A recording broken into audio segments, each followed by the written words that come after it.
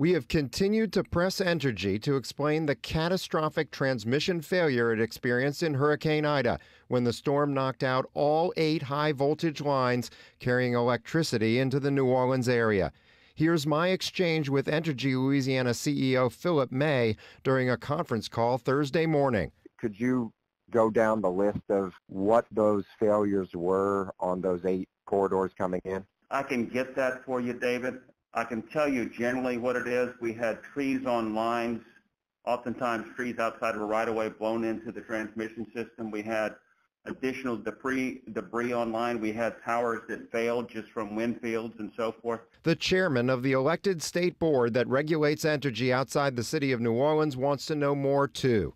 The money that they'd set aside for transmission monitoring upgrades that they said they were going to allocate to that. Did they and how? Louisiana Public Service Commission Chairman Dr. Craig Greene sent this letter to President Joe Biden asking him to dedicate federal money to strengthen Entergy's grid. But what does the most resilient transmission grid look like and how much will it cost? Is the perfect storm that it knocked out all eight I can't tell you more until we look into it as to why. Entergy reports spending $4.2 billion since 2014 on expanding its transmission system. May says newly built or restored towers and wires, as well as strengthened substations where electricity is converted for distribution to homes and businesses, are engineered to withstand 150 mile per hour winds. The highest gusts measured by the National Weather Service in Dulac only reached 120 knots or 138 miles per hour. And what about this major transmission tower in Avondale? It collapsed in winds nowhere close to that. Next door in Waggaman, the National Weather Service reported maximum winds of 80 knots or 92 miles per hour.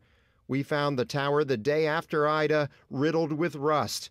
So why wasn't it upgraded? Those are some of the questions we're going to ask. I know in Laura, the ones they when they replaced the transmission structures, they were replaced with more modern, more sturdy, more wind resistant ones. So the analysis will be well, why wasn't that one? We asked that very question to Entergy's May. He said the tower was inspected at the end of last year and didn't need any upgrades. So, so like that tower was very robustly engineered. We're not going to go in and proactively replace a tower like that. I mean, that is a enormously expensive engineered structure. Entergy's New Orleans subsidiary is regulated by the New Orleans City Council. Council President Helena Moreno said she wants to make sure customers are not stuck with a bill for equipment failures Entergy could have prevented. I think that um, at times the company may think that, that, that their regulator should be uh, an additional mouthpiece for them, but that is not our role. Our role is to watch out for the people of this city. And so that's what um, that's what we on this council will continue to do. Both Greene and Moreno sent Entergy letters last week demanding more accountability, something both say they'll be demanding next year when the utility presents the bill for Hurricane Ida restoration. David Hammer, Eyewitness News.